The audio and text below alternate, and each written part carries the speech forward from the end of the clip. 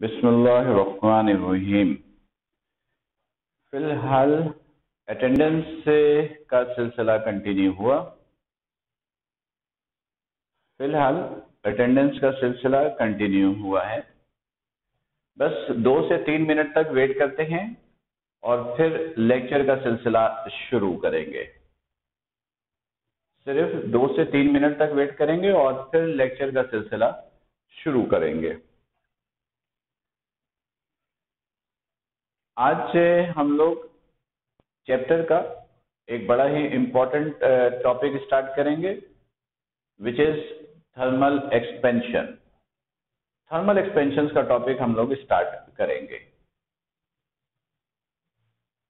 तो फ़िलहाल अटेंडेंस का सिलसिला कंटिन्यू है और बस दो से चार मिनट वेट करेंगे अटेंडेंस के लिए और फिर लेक्चर शुरू करेंगे।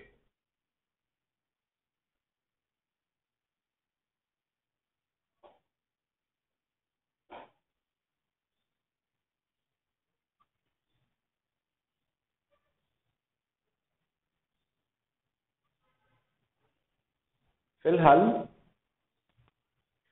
अटेंडेंस का सिलसिला कंटिन्यू है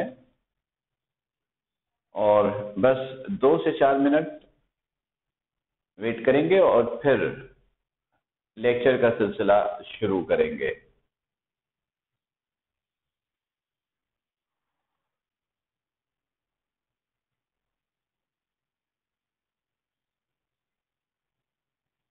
फ़िलहाल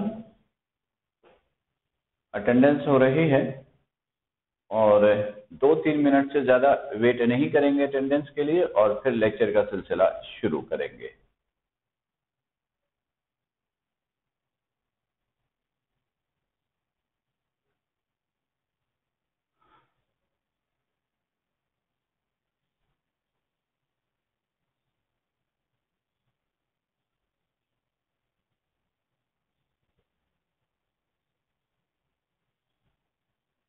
स्टूडेंट्स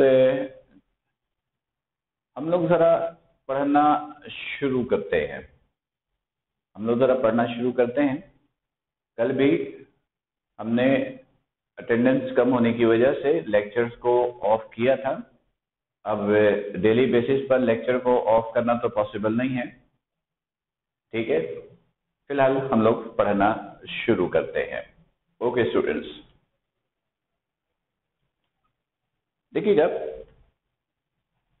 आज के लेक्चर में हम आपका थर्मल एक्सपेंशन के टॉपिक का बनाएँगे बेस ये टॉपिक कम से कम फोर लेक्चर्स में कंप्लीट होगा मिनिमम तो टॉपिक की लेंथ कितनी है, आप ये अंदाज़ा लगा सकते हो। आज के लेक्चर में हम लोग थर्मल एक्सपेंशन पर आपका बेस बनाएँगे। अच्छे तरीके से लेक्चर्स को समझिएगा। स्टूडेंट ये जो एक्सपेंशन का वर्ड है एक्सपेंशन का एक्सपेंशन का वर्ड एक्सपेंड से ड्राइव हुआ है। एक्सपेंड से ड्राइव हुआ है। और एक्सपेंड का मतलब होता है to increase in size to increase in size यानी किसी फिनोमेना में जब किसी बॉडी का साइज़ बढ़ता है, जब भी किसी फिनोमेना में बॉडी का साइज़ बढ़ता है साइज़ तो उस फिनोमेना को हम लोग कहते हैं एक्सपेंशन अच्छा एक्सपेंशन बहुत सारे रीजन की वजह से हो सकता है। हम लोग हर तरह के एक्सपेंशन को नहीं पढ़ेंगे। हम लोग जो कॉन्सेप्ट आपका बनाएँगे, वो होगा थर्मल एक्सपेंशन थर्मल का मतलब यहाँ पर हीट लेंगे। तो थर्मल एक्सपेंशन का मतलब ये हुआ कि हम किसी बॉडी को हीट देंगे स्पेशली सॉलिड बॉडी को। जब हम किसी सॉलिड बॉडी को हीट देंगे और हीट देने पर बॉडी का साइज़ बढ़ जाए हीट देने पर बॉडी का साइज़ बढ़ जाए तो ऐसे फिनोमेना को हम लोग कहते हैं थर्मल एक्सपेंशन थर्मल एक्सपेंशन गौर से स्टूडेंट एक पॉइंट यहाँ पे क्लियर कर लीजिएगा। मैंने आपको बताया कि थर्मल एक्सपेंशन का मतलब हुआ कि आपने बॉडी को हीट दिया और बॉडी का साइज़ बढ़ गया। ठीक है?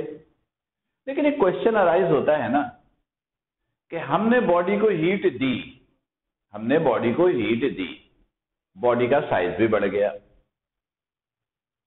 साइज़ तो बढ़ गया लेकिन बॉडी के अंदर इंटरनली क्या हुआ। हीट देने पर बॉडी के अंदर इंटरनली क्या चेंजेस आई?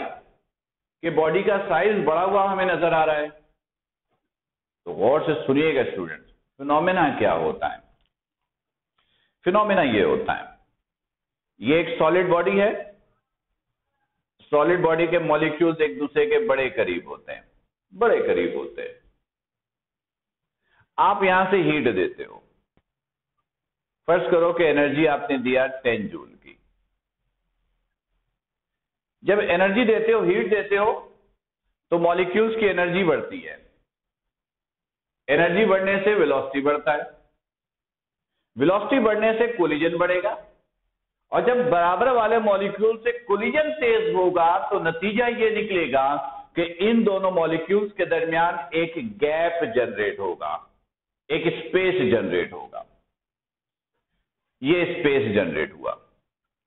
ये स्पेस इतना कम होता है कि इंसानी आँख उसको देख नहीं सकती। फिर क्या होगा? इस फिनोमिना के दौरान ये एनर्जी शिफ्ट हो गई सेकंड के पास। अब सेकंड मॉलिक्यूल के अंदर यही फिनोमिना होगा। इसकी एनर्जी इंक्रीज इसकी वेलोसिटी इंक्रीज कोलिजन तेज, अब ये गैप जनरेट करेगा कोलिजन की वजह से। टू मॉलिक्यूल्स के दरमियान, टू मॉलिक्यूल्स के दरमियान जो गैप बनता है ना, वो तो इंसानी आँख नहीं देख सकती। लेकिन जब तमाम मॉलिक्यूल्स के दरमियान बनने वाला गैप आपस में ऐड होता है सॉरी स्टूडेंट जब तमाम मॉलिक्यूल्स के दरमियान बनने वाला गैप ऐड होता है तो नेट रिज़ल्ट साइज़ बढ़ने की शक्ल में दिखता है। तो गौर से सुनिएगा थर्मल एक्सपेंशन का मतलब होता है कि जब आप हीट देते हो तो साइज़ बढ़ता है। साइज़ बढ़ने का मतलब होता है मॉलिक्यूल्स के दरमियान गैप का बनना। मॉलिक्यूल के अपने साइज़ में कोई तब्दीली नहीं होती। मॉलिक्यूल्स के दरमियान गैप बनता है। तो वो गैप सारे के सारे जमा होते हैं तो नेट रिज़ल्ट हमें बॉडी का साइज़ बढ़ने की शक्ल में दिखता है। जैसे फॉर एग्ज़ाम्पल मैं यहाँ खड़ा हूँ, मेरे आसपास चार पाँच लोग और खड़े हैं। बड़े करीब करीब तो ये हमारा एरिया हो जाएगा, जहाँ पे हम लोग खड़े हैं। अब अगर मैं ज़ोर से धक्का मारूं इधर और इधर, नतीजा क्या निकलेगा? मेरे और बराबर वाले के दरमियान एक गैप जनरेट होगी। बराबर वाला थोड़ा आगे जाएगा। ओवरऑल साइज़ हमारी सराउंडिंग का क्या होगा? बढ़ जाएगा। तो थर्मल एक्सपेंशन का मतलब होता है मॉलिक्यूल्स के दरमियान गैप का बनना। चलो, ये पॉइंट भी हो गया क्लियर अब गौर से सुनिएगा। हमारे पास जो सॉलिड बॉडी अवेलेबल है ना, वो तीन तरीके से स्टडी की जा सकती है सॉलिड बॉडी नंबर एक एक फ़र्स्ट करो कि आपके पास एक आयरन रॉड है। आयरन रॉड है, जिसकी एक पर्टिकुलर लेंथ होती है। जिसकी एक पर्टिकुलर लेंथ होती है। हाइट और ब्रेथ मेजरेबल नहीं होता। या मेजरेबल होगा तो लेंथ के मुकाबले में ना होने के बराबर, अगर रॉड है तो। अगर किसी ऐसी बॉडी को हीट देते हो कि हीट देने पर उसकी सिर्फ़ लेंथ बढ़ जाए लेंथ में एक्सपेंशन हो जाए तो ऐसे एक्सपेंशन को हम लोग कहेंगे लीनियर एक्सपेंशन क्या कहेंगे? लीनियर एक्सपेंशन लीनियर एक्सपेंशन इसमें सिर्फ़ जी जी, बिल्कुल। सुनिए और से। फ़र्स्ट करो कि आपके पास एक ऐसा बॉडी है जिसकी एक स्पेसिफिक लेंथ है और हाइट और ब्रेथ लेंथ के मुकाबले में नेग्लेजेबल है। जैसे आयरन रॉड एक बहुत बड़ी रॉड है। अब आप इसको हीट दो। हीट दोगे तो क्या होगा? लेंथ इंक्रीज होगा। अगर हीट देने पर सिर्फ़ लेंथ बढ़ता है लेंथ इंक्रीज होता है तो ऐसे एक्सपेंशन को हम लोग कहते हैं लीनियर एक्सपेंशन ऐसे एक्सपेंशन को हम लोग क्या कहेंगे? लीनियर एक्सपेंशन ऐसे एक्सपेंशन को हम लोग क्या कहेंगे? लीनियर एक्सपेंशन लीनियर एक्सपेंशन ऐसे एक्सपेंशन को कहते हैं, जिसमें सिर्फ़ लेंथ से बढ़ता हो, सिर्फ़ लेंथ से बढ़ता हो। लेकिन फ़र्ज़ करो कि आपके पास एक ऐसा बॉडी है, जिसके पास लेंथ और ब्रेथ दोनों है। जैसे टिन शीट कॉपी का पेज फ़र्स्ट करो वो टिन की बनी हुई है टिन शीट है। लेंथ है ब्रेथ है। हाइट ना होने के बराबर है। तो हम कहेंगे कि तीन शीट के पास एक स्पेसिफिक एरिया है लेंथ इंटू ब्रेथ एरिया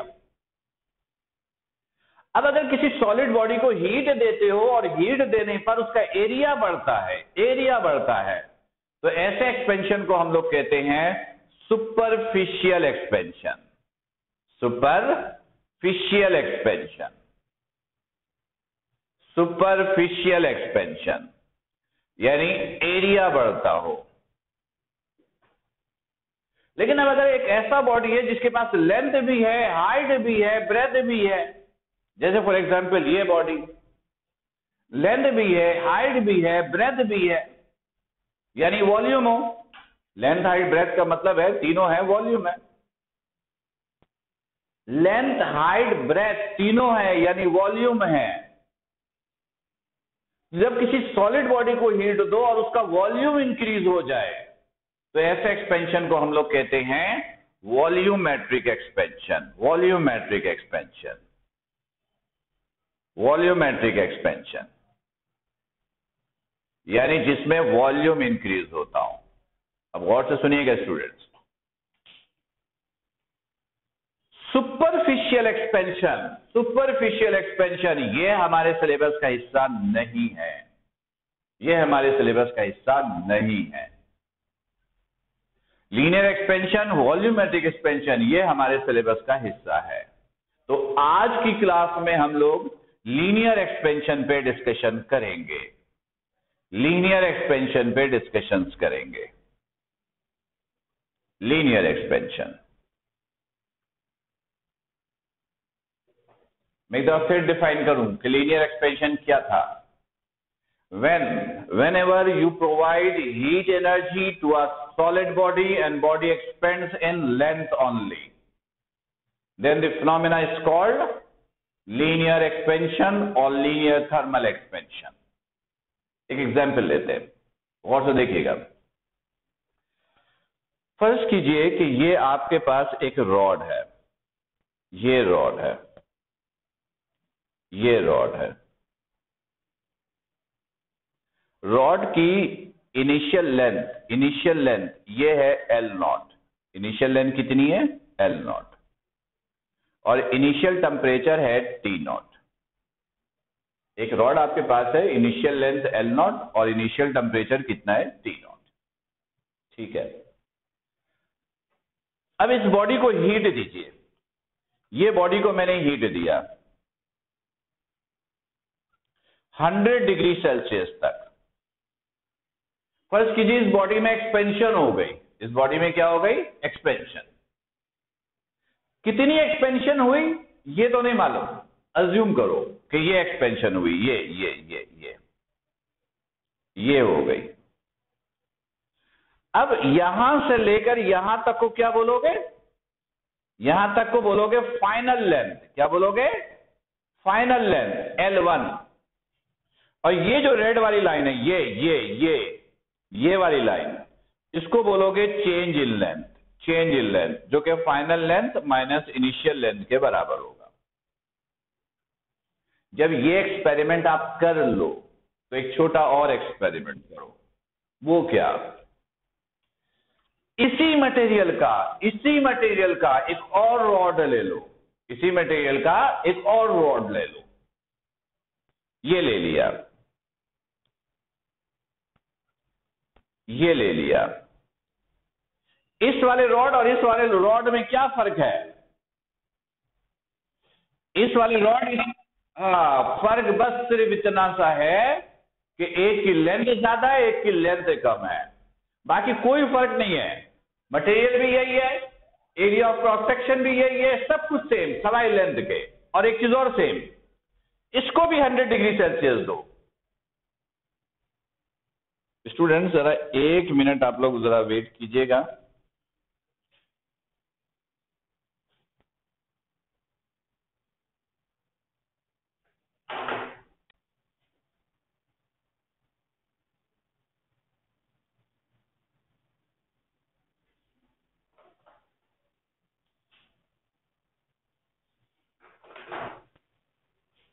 ठीक है।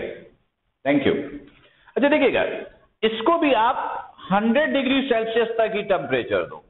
इतना ही सेम टेम्परेचर भी सेम इस बॉडी में एक्सपेंशन होगी। इस बॉडी में एक्सपेंशन कितनी होगी? इतना ही, इससे कम या इससे ज़्यादा? आंसर इज़ इससे इससे ज़्यादा। इससे ज़्यादा। अभी बताता हूँ क्यों। गौर से सुनोगे। अभी अभी मैंने बताया था यहाँ पर कि थर्मल एक्सपेंशन का मतलब होता है मॉलिक्यूल्स के दरमियान गैप का बनना। तो मतलब यह होता है कि जिस बॉडी के अंदर नंबर ऑफ़ मॉलिक्यूल ज़्यादा होंगे, उसके अंदर गैप्स ज़्यादा बनेगा। बॉडी का साइज़ कम है तो नंबर ऑफ़ मॉलिक्यूल्स कम है। मॉलिक्यूल्स कम है तो मॉलिक्यूल्स के दरमियान गैप ओवरऑल कम होगा। यहाँ पर नंबर ऑफ़ मॉलिक्यूल ज़्यादा है। दो मॉलिक्यूल के दरमियान तो गैप एक जैसा होगा, इसमें भी इसमें भी। लेकिन यहाँ पर नंबर ऑफ़ मॉलिक्यूल ज़्यादा है। तो मॉलिक्यूल्स के दरमियान जो ओवरऑल गैप बनेगा, वो भी क्या होगा? वो भी ज़्यादा होगा। और थर्मल एक्सपेंशन का मतलब होता है हीट देने पर मॉलिक्यूल्स के दरमियान गैप का बनना स्पेस का जनरेट होना। तो जिस बॉडी के अंदर नंबर ऑफ़ मॉलिक्यूल ज़्यादा होंगे एक्सपेंशन इस सिचुएशन में ज़्यादा होगी। यानी इसके अंदर चेंज इन लेंथ ज़्यादा है। तो इसका मतलब यह हुआ इनिशियल लेंथ कम चेंज इन लेंथ कम। इनिशियल लेंथ ज़्यादा चेंज इन लेंथ ज़्यादा। इसका मतलब हुआ दोनों एक दूसरे के डायरेक्टली प्रोपोर्शनल है। तो डायरेक्टली प्रोपोर्शनल को ऐसे लिखोगे। Delta L directly proportional to L naught. ये पहला स्टेटमेंट है। स्टूडेंट एक छोटा सा एक्सपेरिमेंट और कर लीजिए। इसी साइज़ का ना एक और रॉड ले लीजिए। इसी साइज़ का। मैं इसी में एडिट कर देता हूँ। इसी साइज़ का। इसी साइज़ का एक और रॉड ले लिया। इसी साइज़ का। मटेरियल भी यही। अब फ़र्क यह है कि इसको टेम्परेचर 100 नहीं, बल्कि 500 डिग्री सेल्सियस दिया। टेम्परेचर 100 के बजाय कितना दिया? 500 डिग्री सेल्सियस। अब इस बॉडी के अंदर एक्सपेंशन कितनी होगी? इतना ही, इससे कम या इससे ज़्यादा? आंसर इज़ इससे ज़्यादा। क्यों? बिल्कुल करेक्ट। क्यों? ये टेम्परेचर है। टेम्परेचर एनर्जी की एक फॉर्म है। जिस बॉडी को एनर्जी ज़्यादा दोगे, उसमें ज़्यादा वर्क होगा। यहाँ पे वर्क किस शक्ल में हो रही है? एक्सपेंशन की शक्ल में हो रही है। तो इसका मतलब एक्सपेंशन ज़्यादा होगी। टेम्परेचर कम चेंज इन लेंथ कम टेम्परेचर ज़्यादा चेंज इन लेंथ ज़्यादा, दोनों एक दूसरे के क्या हुआ? डायरेक्टली प्रोपोर्शनल तो इसको ऐसे लिखोगे कि change in length directly proportional है चेंज इन टेम्परेचर के। This is number two equation one और टू को कंपेयर कर लीजिए। Comparing equations comparing equations one and two delta L delta L one time delta L proportional proportional proportional L naught delta T L naught delta T delta L is equal constant proportional हटाओगे is equal constant लगाओगे. L naught delta T delta L is equal to यहाँ पे constant इस्तेमाल करते हैं alpha alpha ये सब as it is और इस एल्फा को कहते हैं coefficient of coefficient of linear expansion linear expansion. देखिए कोफिशिएंट और लीनियर एक्सपेंशन को कैसे डिफाइन करोगे? पहले जरा प्रैक्टिकल कॉन्सेप्ट देखो। डेफिनेशन बाद में करते हैं। अल्फ़ा होता क्या है? फ़र्ज़ कीजिए कि मैंने आपको एक रॉड दे दी और मैंने कहा इसका मुझे अल्फ़ा निकाल कर दो। I have given you a rod and question is calculate its alpha means coefficient of linear expansion आप क्या करोगे? जिस रॉड के लिए अल्फ़ा कैलकुलेट करने के लिए कहा गया है, आप सबसे पहला काम करो उसकी लेंथ वन मीटर ले लो। लेंथ कितनी ले लो? One metre. ले लिया। ठीक है। फिर उस रॉड का टेम्परेचर नोट कर लो। कर लिया। अब उस रॉड को हीट दो। अब उस रॉड को हीट दो। चलो, देना शुरू किया। जैसे ही रॉड का temperature one degree Celsius rise कर जाए, वन डिग्री ओनली हीट देना बंद कर दो। जब हीट देना बंद कर दिया ना तो अब देखना कि उस रॉड में कितनी एक्सपेंशन हुई है। वो जो एक्सपेंशन हुई होगी ना, वो अल्फ़ा की वैल्यू है। वो वैल्यू इतनी माइनर सी, छोटी सी वैल्यू होती है कि आप ऐसे अंदाज़ा लगाओ कि पॉइंट के बाद पहले फोर डिजिट में ज़ीरो होगा, फिर कोई वैल्यू शुरू होगी, फिर कोई डिजिट शुरू होगा। इतनी स्मॉल वैल्यू होती है। लेकिन इसकी प्रॉपर डेफिनेशन क्या है, वो सुनो गौर से L naught delta T alpha के साथ मल्टीप्लाई इधर आकर क्या हो जाएगा डिवाइड तो आप इसको लिखोगे delta L divided by L naught delta T बराबर है एल्फा के एल्फा के। क्लियर ठीक है। अभी तो देखिएगा। इसको पढ़ते हैं चेंज इन लेंथ क्या पढ़ते हैं? चेंज इन लेंथ जब भी कोई चेंज होने वाली वैल्यू जब भी कोई चेंज होने वाली वैल्यू एक्चुअल लेंथ से डिवाइड हो जाए एक्चुअल लेंथ से डिवाइड हो जाए तो इसको पढ़ा जाता है फ्रैक्शनल चेंज इन लेंथ तो इसको पढ़ा जाता है फ्रैक्शनल चेंज इन लेंथ तो इसको क्या पढ़ोगे? इसको क्या पढ़ोगे? इसको पढ़ोगे फ्रैक्शनल चेंज इन लेंथ चलो, ये हो गया।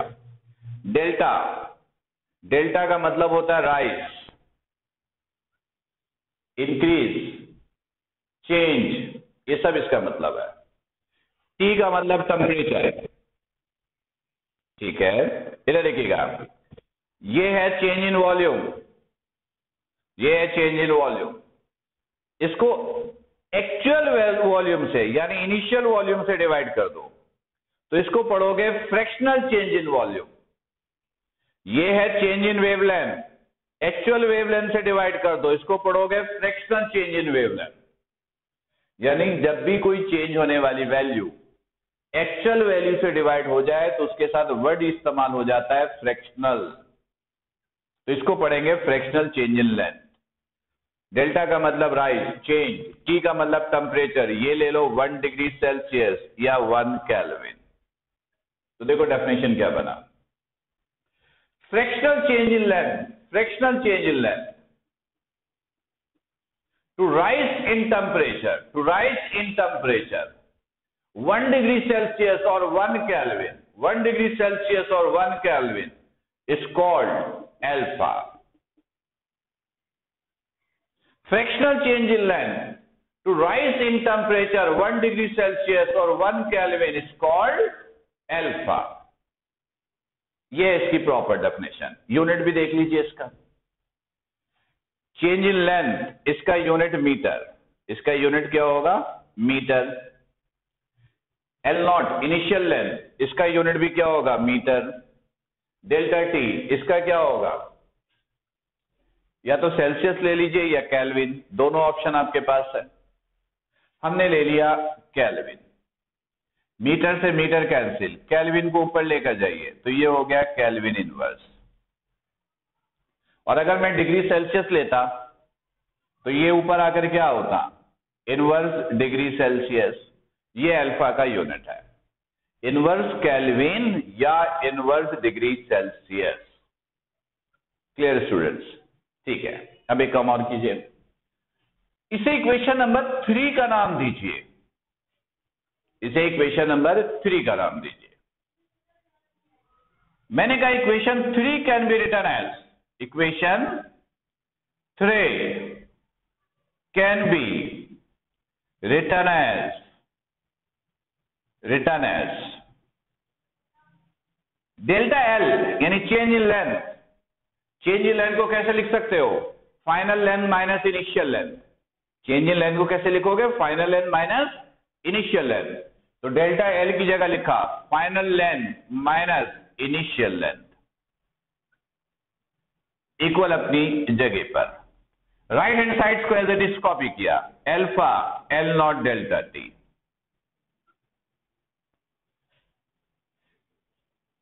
L naught इधर नेगेटिव का, इस साइड जाकर क्या होगा? पॉजिटिव तो L one is equal to L naught plus L naught delta T L one is equal to L naught common लीजिए। यहाँ से क्या रह गया? वन प्लस यहाँ से क्या रह गया? एल्फा ये क्या रह गया? डेल्टा टी तो स्टूडेंट्स ये आ गया फाइनल लेंथ मालूम करने का formula By using this formula, you can calculate the final length in the phenomena of linear expansion. ये फाइनल लेंथ का फॉर्मूला ये कोफिशियंट और लीनियर एक्सपेंशन का फॉर्मूला ये चेंज इन लेंथ मालूम करने का फॉर्मूला तो स्टूडेंट्स ये था आपके पास लीनियर एक्सपेंशन का टॉपिक इस टॉपिक में मैंने आपका बेस बनाया है। मैंने फिर शुरू में आपको बताया था कि ये टॉपिक जो अभी हमने पढ़ना शुरू किया है, कम से कम फोर लेक्चर्स में कंप्लीट होगा मिनिमम ये इसका पहला लेक्चर था। फ़िलहाल अभी हमारे पास तकरीबन 10 मिनट टाइम तो है, लेकिन अगला सेगमेंट डिस्कस नहीं कर सकते, वो इनकम्प्लीट रह जाएगा। और फिर आगे तकरीबन आपकी चार दिन, तीन, चार दिन छुट्टियाँ हैं। स्टूडेंट मैं आपको ये बता दूँ कि मंडे के दिन आपकी रेगुलर क्लास नहीं होगी ईद की वजह से। ट्यूसडे से आपकी रेगुलर क्लास फिर शुरू हो जाएगी। जब ट्यूसडे को आपकी रेगुलर क्लास शुरू हो स्टूडेंट्स तो ये लीनियर एक्सपेंशन का topic, thermal expansion, linear expansion का टॉपिक, अच्छे तरीके से रिवाइज कर लीजिएगा। रिवाइज कर लीजिएगा। मैं इसका भी स्क्रीनशॉट भी भेजूँगा, इस टॉपिक के नोट्स भी भेजूँगा, फेयर कॉपी पे लाजमन फेयर भी करनी है। और जब ट्यूसडे के दिन लेक्चर्स के लिए आए तो टॉपिक को अच्छी तरीके से रिवाइज करके आएँगे। नंबर एक। नंबर दो ट्यूसडे के दिन हम लोग इसका अगला सेगमेंट वॉल्यूमेट्रिक एक्सपेंशन है। लीनियर और वॉल्यूमेट्रिक एक्सपेंशन में कॉन्सेप्चुअली कोई फ़र्क नहीं है। बस लेंथ की जगह वॉल्यूम इस्तेमाल करेंगे। तो उस दिन हम लोग वॉल्यूमेट्रिक एक्सपेंशन पढ़ेंगे। इसके अलावा एक न्यूमेरिकल भी करेंगे। तो सिलेबस की बुक और साइंटिफिक कैलकुलेटर ये दोनों चीज़ें भी अपने साथ उस दिन रखिएगा। ट्यूसडे के दिन जब लेक्चर लेने बैठे, एक तो इसको रिवाइज करेंगे, नंबर टू, सिलेबस की बुक और साइंटिफिक कैलकुलेटर के साथ लेक्चर लेने बैठिएगा ताकि लेक्चर्स के दौरान आपको कोई प्रॉब्लम फेस ना करना पड़े। तो स्टूडेंट्स, आज के लेक्चर से किसी के पास कोई सवाल है तो कर लीजिए। आज के लेक्चर से किसी के पास कोई सवाल है तो कीजिए। जी इब्राहिम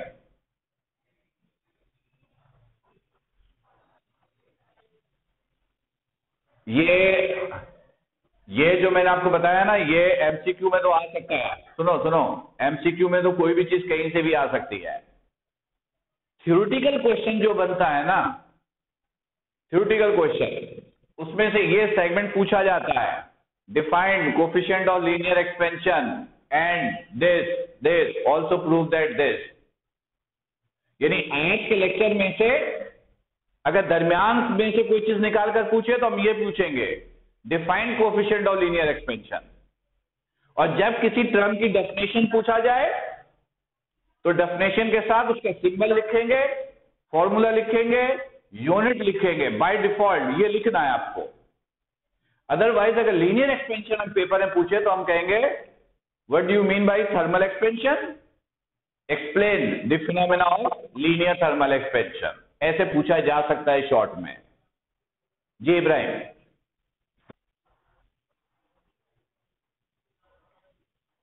क्या फिर से पूछो, क्या कह रहे हो?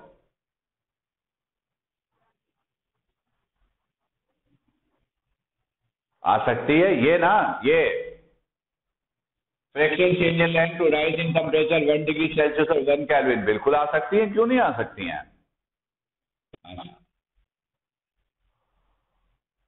फ्रैक्शनल चेंज की किसकी बात कर रहे हो? यही तो है fractional change fractional change in length to हाँ तो अल्फ़ा की डेफिनेशन पूछी जा सकती है ना? अल्फ़ा की डेफिनेशन पूछी जा सकती है? जी।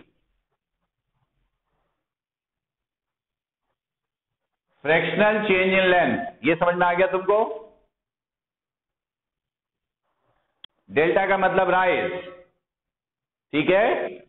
टेम्परेचर का मतलब है वन डिग्री सेल्सियस और वन कैलविन सही है? अब इसको मिला दो। Fractional change in length to rise in temperature one degree Celsius और one kelvin is called coefficient of linear expansion अब मैं समझाता हूँ, एक मिनट। किसी बॉडी का टेम्परेचर जब वन डिग्री सेल्सियस इंक्रीज करवाते हो वन डिग्री सेल्सियस तो उस बॉडी की लेंथ में जो तब्दीली आती है ना उसको कहते हैं अल्फ़ा सही है?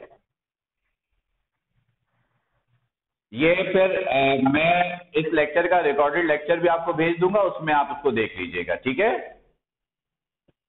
ठीक है वेलकम जी और कोई सवाल?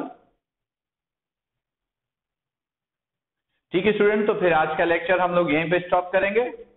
आप सब अपना बड़ा ख्याल रखिएगा। इंशाल्लाह आपसे मुलाकात ईद के बाद होगी।